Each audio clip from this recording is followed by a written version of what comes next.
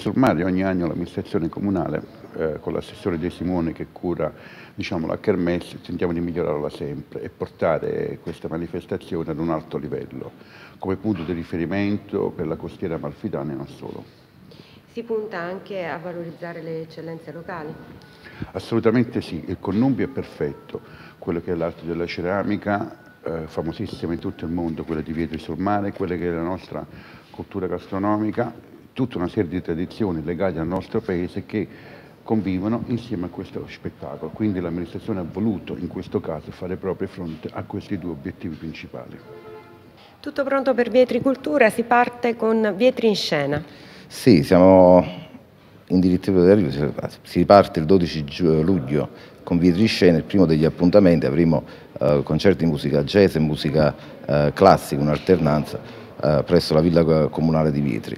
È un grandissimo cartellone, diciamo la verità, sono oltre 120 eventi che abbiamo spalmato eh, da luglio fino a giugno dell'anno prossimo. E quindi abbracciamo un pochino tutti quelli che sono i settori della cultura, dalla presentazione di libri con la congrega letteraria che ormai ha il suo quinto anno di lavoro e quindi avremo un, una presentazione massiccia, dico sempre ai ragazzi, perché quasi ogni settimana ci sarà qualcuno che eh, verrà a presentare i libri. Abbiamo eh, il teatro, quindi svilupperemo con il teatro quelle che sono eh, le arti eh, teatrali, ma eh, affiancandoci poi con il Conservatorio Martucci e grazie all'intervento e alla professionalità del professore Luigi Avallone, che è il nostro direttore artistico, facciamo tutta questa serie di concerti. Quest'anno poi a dicembre con il professor Enzo Biffi Gentile avremo di nuovo Viaggio attraverso la ceramica e eh, l'intervento eh, sarà mirato sulla Rigiola. La Rigiola sarebbe la piastrella vietrese e quindi cercheremo di eh, far dare nuovo sviluppo a questo che è uno dei nostri più grandi patrimoni, facendo una serie di interventi puntando verso quella che ha detto il professore Biffi Gentili, la Rigiola 3000 praticamente, e quindi il concorso internazionale e nazionale. Abbiamo poi tutta una serie di incontri ed appuntamenti che finiranno a maggio con la musica e la ceramica. Un'altra eh, novità quest'anno tra aprile e maggio in cui ci sarà il connubio fra la musica appunto, e la ceramica con i ceramisti vietresi che eh, diciamo, eh, esibiranno ascoltando la musica e creeranno delle opere eh, ad hoc in quella serata. Quindi una rassegna ricca di appuntamenti mirata anche a valorizzare le eccellenze locali.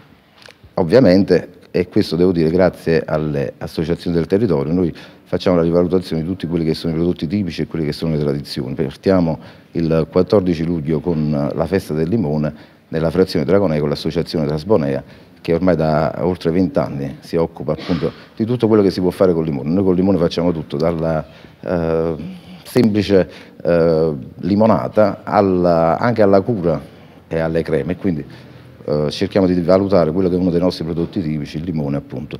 E poi tutte le, le associazioni del territorio che fanno una serie di uh, appuntamenti, soprattutto nel periodo estivo, una rievocazione storica. E poi abbiamo puntato anche su quelli che sono i percorsi religiosi.